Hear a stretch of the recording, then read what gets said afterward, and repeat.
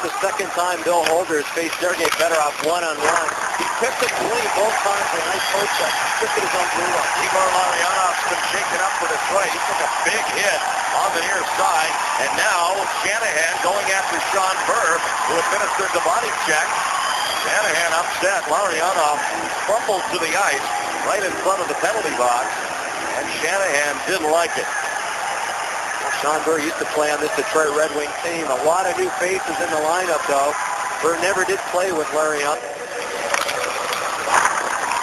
Oh, yeah, I think his back hits the lip of the board, Steve.